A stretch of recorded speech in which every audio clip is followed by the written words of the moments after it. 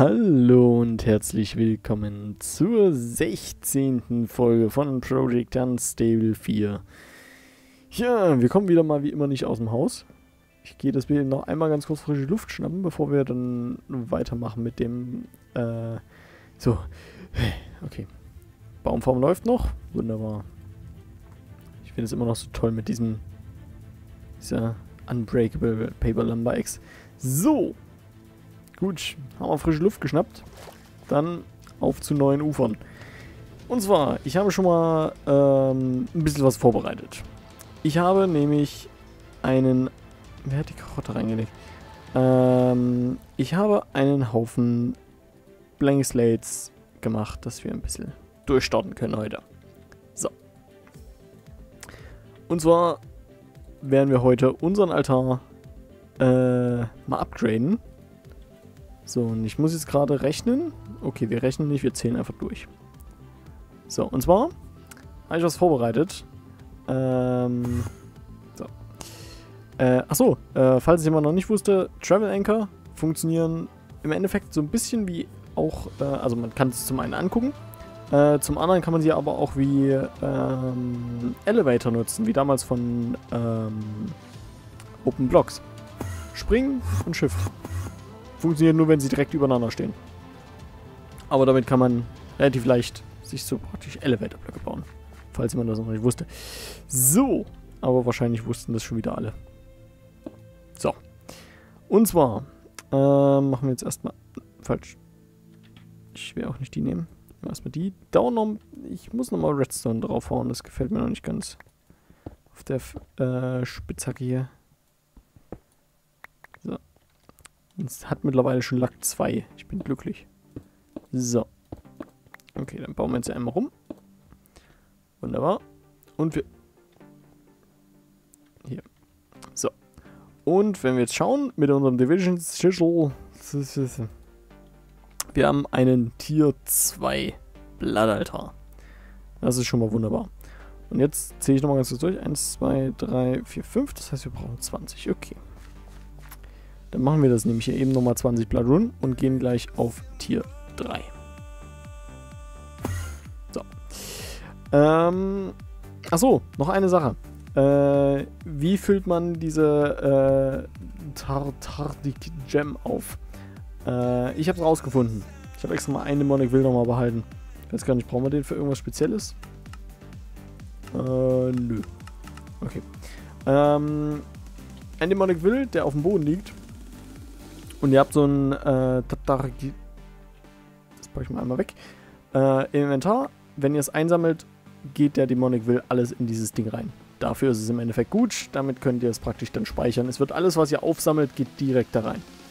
Äh, ich habe zwei gemacht. Warum? Werden wir auch gleich sehen. Machen wir erstmal 20 hiervon. Äh, 20. Wunderbar. Ich mache erstmal noch keine äh, Rune of Sacrifice oder so, weil erstens brauchen alle eine Blank Rune, von daher ist es relativ egal, ob wir die nun machen oder nicht jetzt. Also, ja. Und später machen wir dann halt diese Sacrifice Rune und alles mögliche. Und das hierhin wird unser Blood Magic Raum. Habe ich mir so überlegt. Äh, ich habe schon mal die Grund, also den äußeren Ebenenring, keine Ahnung, habe ich schon mal grob ausgehoben, bis auf hier diesen Block Copper, den mir Purple so wunderbar hier hingesetzt hat mit dem Weg. Ähm, ja, das wird halt unser Blood Raum hier. Es ist einfach viel zu groß. So, und hier das ist noch nicht ganz äh, angeschlossen, weil ich noch nicht ganz zufrieden bin. Das wird dieses, äh, diese zweite, dieser zweite Layer von Storage, den wir haben werden. Und dann, wenn wir hier noch einen Weg haben, da kommt dann ja eine Treppe irgendwo runter. Muss ich mal gucken, wie ich das mache. Ich habe ein paar Pläne. So, und ich habe gerade wieder viel zu viel und viel zu schnell gesprochen, merke ich gerade.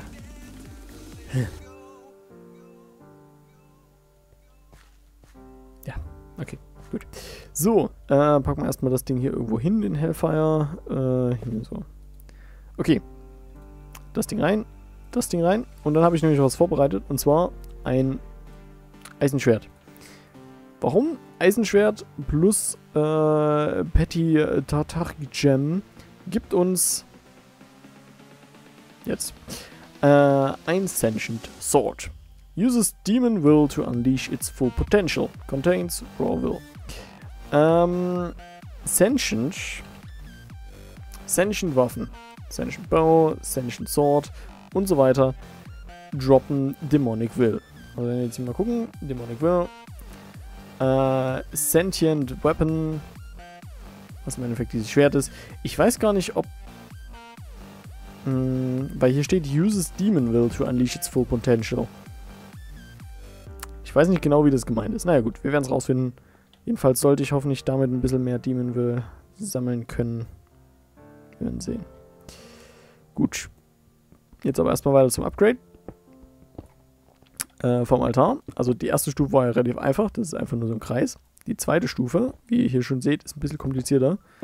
Äh, es geht im Endeffekt einer frei, ein nach unten und danach baut ihr das hier äh, und sorgt dafür, dass die Ecken frei bleiben. Also ihr könnt theoretisch da auch Ru äh, Ruhen reinpacken, die werden aber ignoriert und äh, helfen im Endeffekt nichts, außer dass ihr erfolgreich mehr Zeug verschwendet habt.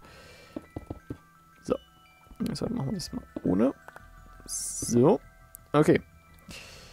Äh, nochmal vielleicht ein paar Torches hin, damit das hier alles leuchtet ist. So, und jetzt haben wir immer noch einen Tier 2 Altar. Das liegt daran, weil uns noch ein bisschen was fehlt. Äh, ich mache es jetzt einfach mal mit Cobblestone.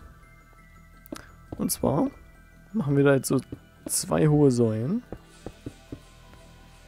Äh, weg. Es war doch zwei hoch, ne?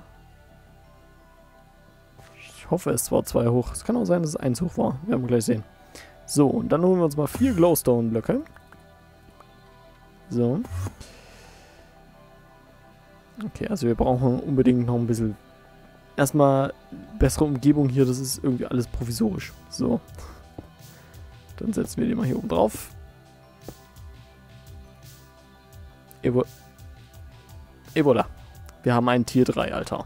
Das hat einen Moment wieder mal im Update gedauert. Bauen wir hier zu, dass ich hier nicht immer runterfalle. So. Nein, das wollte ich nicht. So. Okay. Und wir haben einen Tier 3 Altar. Das ist schon mal wunderschön. So, damit können wir nämlich jetzt wesentlich besser arbeiten. Und zwar mit einem Tier 3 Altar könnten wir zum Beispiel äh, Imbued Slates machen. Äh, und mit Imbued Slates können wir nämlich Runes of Capacity und Displacement Runes machen. Was beides sehr, sehr praktisch ist. Capacity ist im Endeffekt Speicherplatz vom Blattaltar, was glaube ich standmäßig 10 Eimer sind, also 10.000. Äh, können wir damit erhöhen. Ich glaube, prozentual war das. Ich bin mir unsicher, ob es prozentual oder feste Menge war. Ist egal. Äh, und Displacement erhöht praktisch die Transferrate. Wie schnell raus und rein kann. Das sind im Endeffekt, ob man es raus. Wenn man im Moment rauspumpen würde, würde man 20 Life Points pro Tick oder pro Sekunde, irgend sowas, ähm, rausziehen können. Das ist aber sehr wenig. Äh, und mit den Dingern kann man das halt auch hin. So. Äh, gibt noch verschiedene andere Dinge. Buch zum Erfahrungspunkte speichern. Ja, herzlichen Glückwunsch. Äh, wir können es noch weitermachen und wir können halt damit dann auch noch unser Tartamic, äh, Tartarik, dieser Name macht mich fertig, unser Tartarik Gem aufbessern. Was wir aber eigentlich erstmal nicht brauchen. Gut, was ich aber gerne machen würde, und dafür brauche ich nochmal ein Eisenschwert, ist nämlich uns äh, ein Dagger of Sacrifice schon mal machen. Ähm.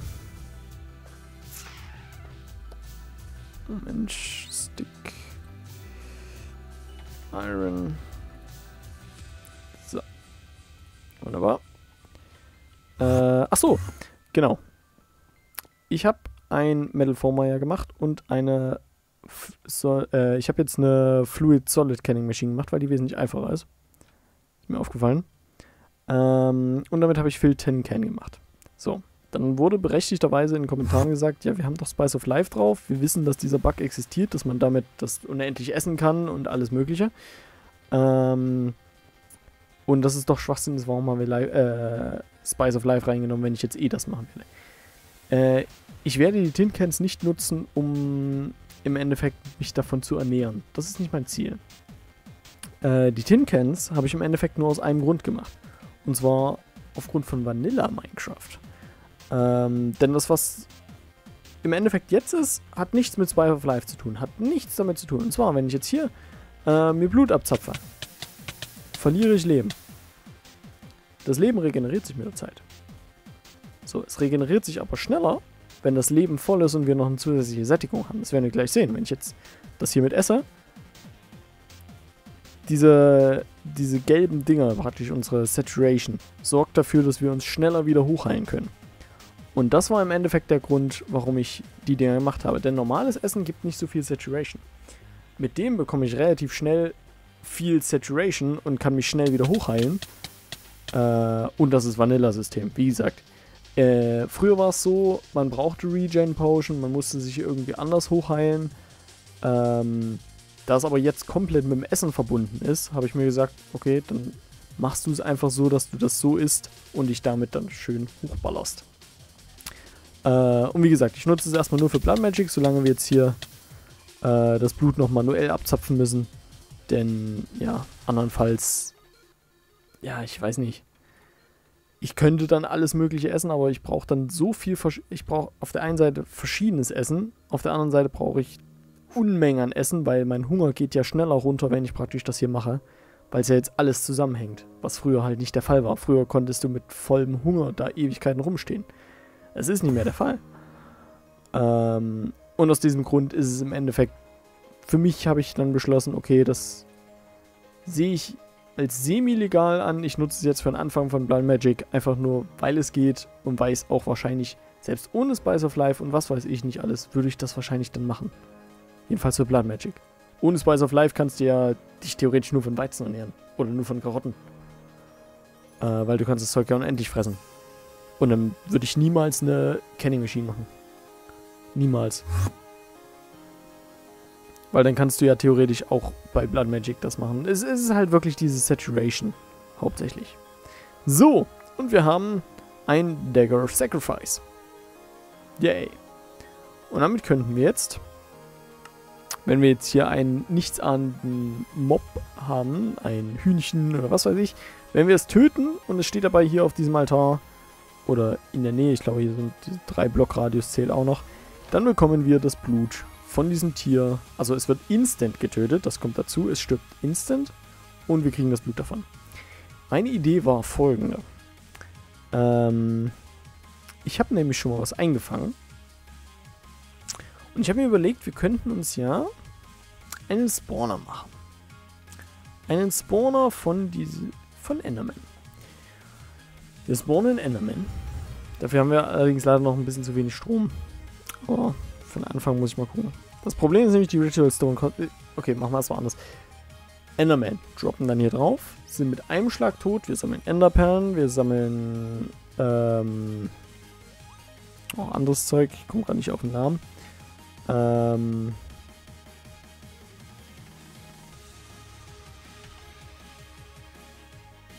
war es Nebulous?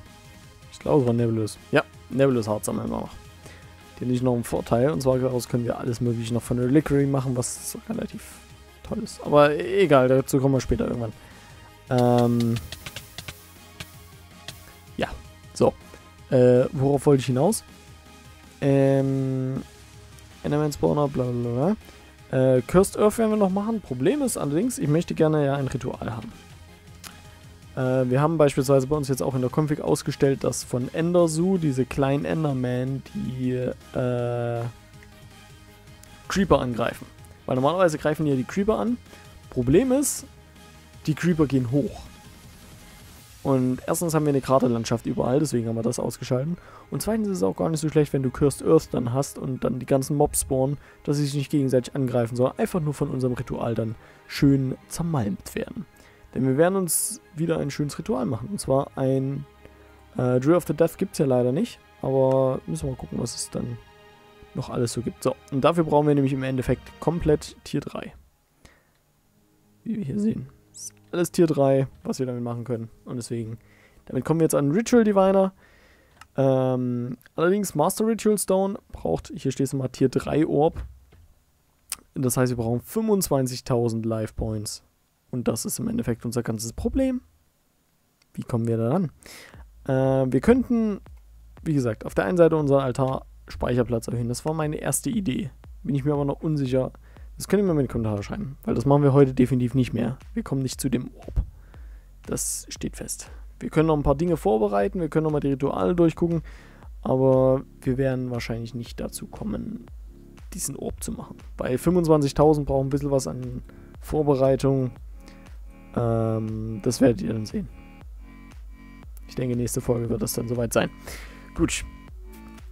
Äh, jedenfalls, Frage ist, machen wir uns Rune of Capacity und sorgen dafür, dass wir den Altar hochkriegen? Oder aber spawnen wir Mobs oben drüber per Cursed Earth, also hier oben, treiben die in die Mitte, lassen die runterdroppen äh, und killen die dann mit dem Deck of Sacrifice.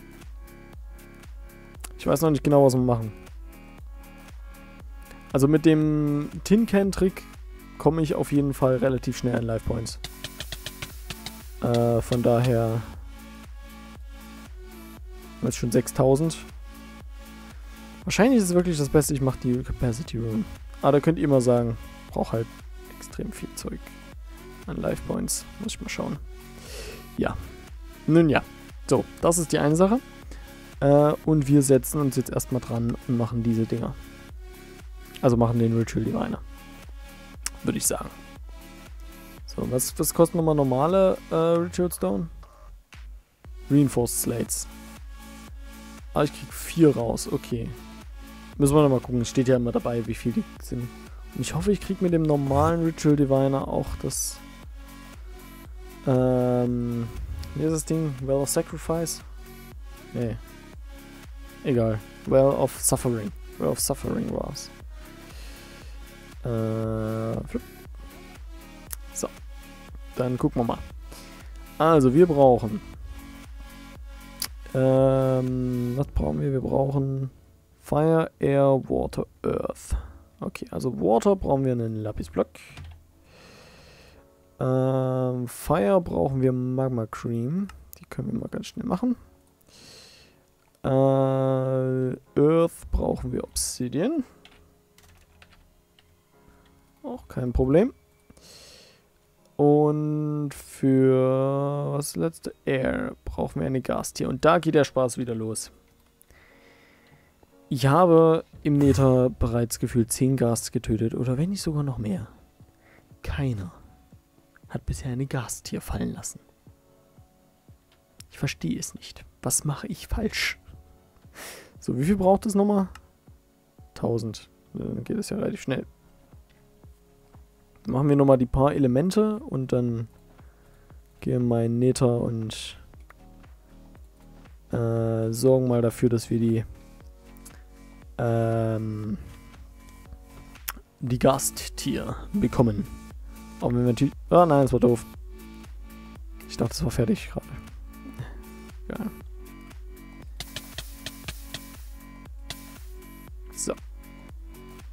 Okay.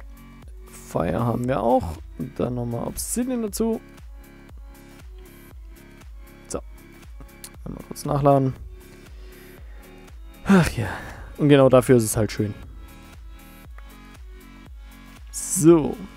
Und es hat halt, wie gesagt, nichts mit Spice of Life zu tun. Nur mit Spice of Life wäre es extrem hart gewesen, jetzt Blood Magic zu machen. Dann wäre ich nicht. Dann hätte ich heute den ganzen Tag damit zugebracht und dann hätten wir nicht so viele Slates gehabt. Gott, ich kriege so viele Ender Lilies mittlerweile. Ich habe jetzt schon zwei über. Wir werden Ender. Oh. Ich habe auch eine Idee, wie wir es automatisieren werden. Die Ender Lily. Äh, ups. Alles dreht sich dabei um diesen Block. Aber dazu später mehr. Also nicht diese Folge, irgendwann später. nicht, dass einer jetzt dran bleibt deswegen, weil er denkt, das ist... So. Okay, dann äh, gehen wir mal nochmal kurz in den Meter, auch wenn ich keine Lust habe. Ich lege nochmal ein bisschen was ab, was geht. So, das kann eigentlich mal alles hier rein was wir nicht brauchen. Tin Can kann ich auch mal hier reinpacken. Ich nehme jetzt aber mal die Tin Can mit. Einfach nur, weil ich eigentlich nur schnell in Nether möchte und nicht unbedingt viel machen. So, nehmen wir das mit. Das kann weg, das kann weg. Den kann ich nicht reinpacken. Ich verstehe es immer noch nicht. Okay. Vielleicht, weil es ein... Vielleicht implementiert es ein Interface, was... Naja, ist egal, ist egal. Es geht zu, zu sehr ins Detail. Na dann. Auf, auf und davon. So. Jetzt geht natürlich der Spaß los. Wo ist ein Gast? Wenn ich jetzt nicht sofort einen finde, machen wir kurz einen Cut. Bis ich einen finde.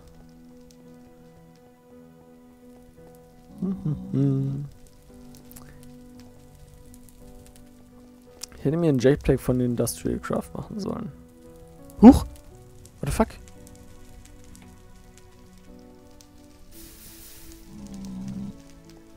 Irgendwas ist heute mit dem Server ein bisschen los. Er ist heute uns auch schon ein paar Mal wieder abgeschmiert, weil einen Tick zu lange gebraucht hat und das ist komisch. Naja. So, aus. Ich finde es schön, dass man Blaze ausschlagen kann. Wenn sie sich gerade schön aufheizen, dann schlägst du einfach einmal zu und sie sind erstmal wieder aus. So, ja, nee, da gehe ich nicht lang. Ich habe zu sehr Angst, dass ich darunter falle. So. Ich gucke gerade mal ein bisschen auf die Map. Oh, ich sehe keinen Gast. Nee, das ist kein Gast. Das ist... Der Zombie-Pigment. Hier werde ich wahrscheinlich nichts finden. Okay. Ähm... Ja. Das hat sich ja wieder verlohnt. Ich bin gerade am überlegen, ich könnte noch die Wither-Skelette angreifen. Dann können wir noch ein bisschen mehr äh, auf der einen Seite Schädel sammeln. Auf der anderen Seite ist das da hinten? Äh, auf der anderen Seite kriegen wir aber gleich ich werde hier down zurückgesetzt. Äh, kriegen wir vielleicht noch so ein Dingens hier, so ein, so ein, so ein, so ein Evil, Drop of Evil. Wie auch immer das Ding hieß. Oha. Oh, jetzt schnell. Ausschlagen ist schön. Hi! Hast du mich gesehen? Wunderbar. Komm mal her. So. Okay, ein Kopf. Besser als nichts. Kommst du? Es ging daneben.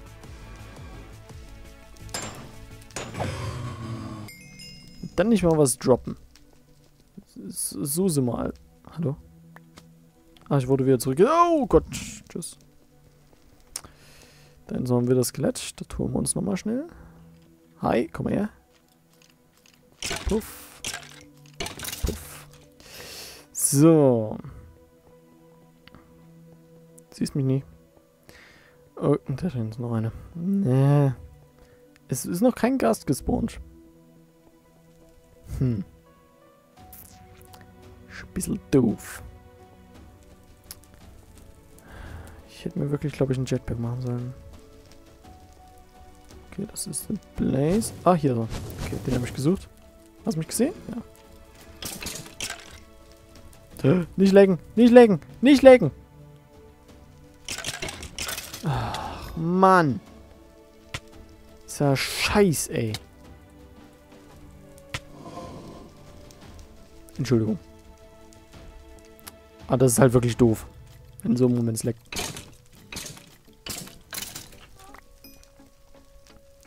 Wither the Rip. Okay. Sowas kriegen wir. Toll. Oh, hi. So. Ist hier noch was drin? Alles schon gelootet. Also, dass du mir total auf die Nerven gehst hier.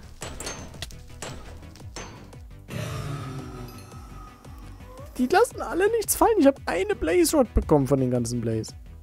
Oh, ich Gast. Wo? Wo, wo, wo, wo, wo, wo, wo? Ähm.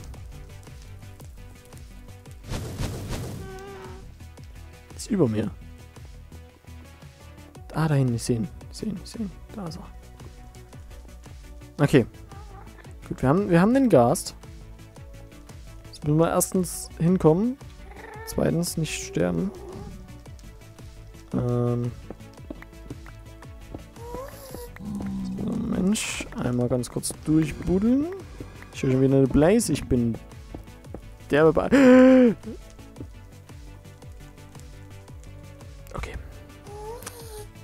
Planänderung. Wir bauen uns hoch. Tschüss, Blaze. Wo ist der Gas? Tschüss, Blaze. Da. Hey, du! Bin hier! Schieß!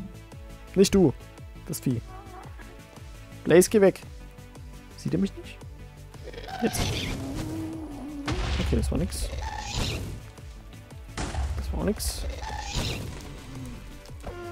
Ja, ja, ja. Oh. Jetzt kommen jetzt zwei so Blazes an.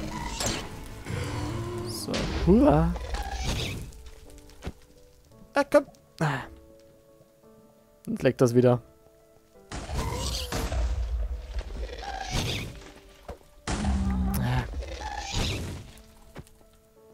Ja. Oh. Da. So.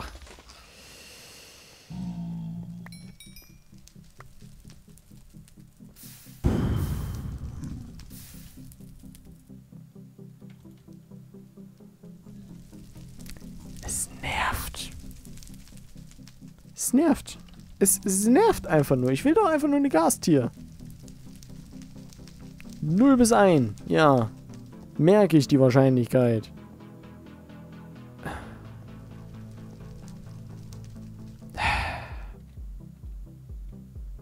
Tötest tausende von Gasts. Na gut, tausend waren es nicht, so. Das ist der elfte Gast, glaube ich.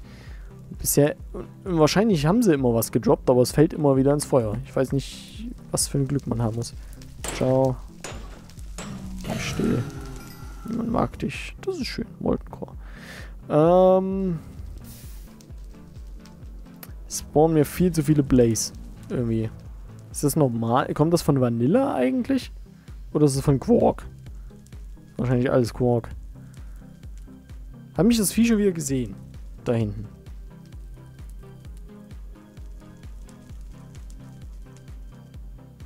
Die habe ich jetzt mich gesehen, oder? Ich weiß es nicht. Ich weiß nicht, ob ich einen Gast haben möchte. Ja. Es droppt hier im Nether nichts. Warum? Es nervt. Oh, hier ist was gedroppt. Von... Oh, woher? Habe ich... Ah, stimmt. Eine, einen Blaze hatte ich ja hier getötet.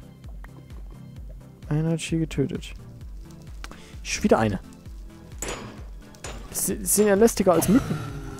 So. Immer noch kein Gast am Firmament. Ist irgendwo auch noch eine Blaze. Ich krieg noch... Ein da hinten ist schon wieder... Und ich werde down zurückgesetzt. Wunderbar. An meiner Verbindung liegt es nicht. Ich habe extra nebenbei schon die ganze Zeit immer wieder offen. Oh, ist da noch wieder Skelett.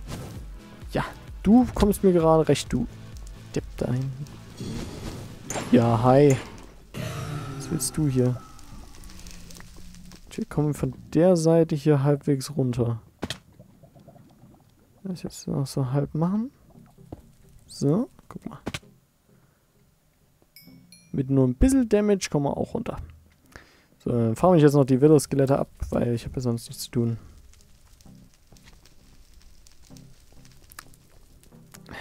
Wahrscheinlich leckt jetzt wieder. Hat mich ja, ich sag's doch. Hat mich gesehen, ne? Ja. Oh. Okay. Jetzt haben wir insgesamt schon eigentlich drei Köpfe zusammen.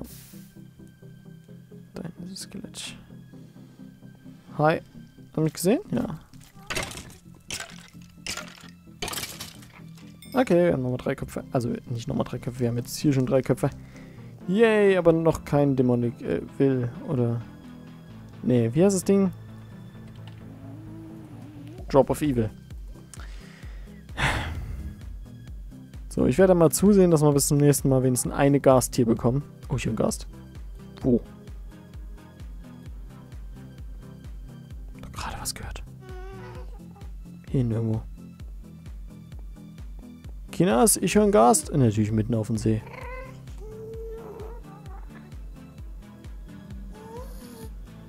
Ah, da hinten ist auch noch einer. Wo denn? Ich höre ihn, sehe nur nicht.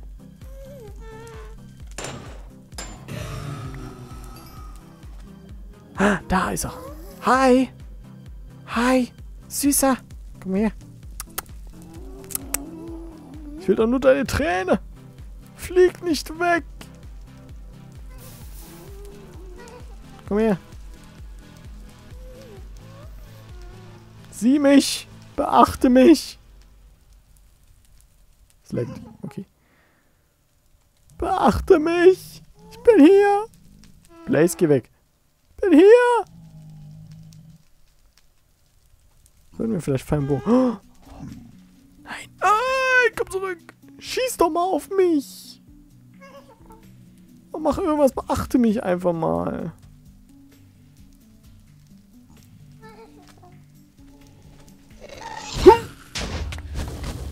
Ah. Wieder keine. Ich, ich ernsthaft. Oh. Ich hab die Kasse hier. Ah, weg. Ciao. Auf Wiedersehen. Tschüss. War, war, war schön hier. Wir sehen uns niemals wieder. Adios. Oh.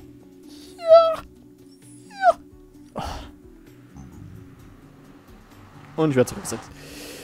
Ah, okay, das war's wert. Gut, dass ich die Folge nicht beendet habe. So, dann beenden wir die Folge nämlich damit. Wir haben die Gast hier. Ich mache jetzt noch das letzte Elemental-Ding da. Äh, und dann können wir diesen äh, werde ich bis zur nächsten Folge wahrscheinlich noch ein paar Slates vorbereiten. Und dann können wir hoffentlich einen Tier 3 Orb machen. Was uns dann höchstwahrscheinlich ermöglicht, ein Master Blood Orb zu machen. Äh, Master Ritual Stone, nicht Blood Orb, Ritual Stone. Ähm, und mit Hilfe dessen, dass wir uns dann ein Ritual machen, um uns Blood Magic komplett zu automatisieren. Also das Blut. Und dann aus unserem Netzwerk Lava herstellen für Thermal Lily und andere Gerätschaften. Und ja. Auf jeden Fall danke fürs Zuschauen. Auf Wiedersehen. Noch einen schönen Tag. Und ja, danke, danke fürs Zuschauen, habe ich schon gesagt. Nochmal danke fürs Zuschauen. Ja, und jetzt wirklich Tschüss. Bis zum nächsten Mal. Wenn ihr wollt. Wenn nicht, dann halt nicht. Tschüss. Noch einen schönen Tag. Tschüss. Okay, ich muss mir angewöhnen, in Zukunft immer die Hand auf der Tastatur zu haben, also auf dem Aufnahmestoppknopf. Sonst ist das immer so eine ungewollte Pause. Okay, jetzt wirklich. Ciao. Ich komme hier nie zum Schluss. Ciao.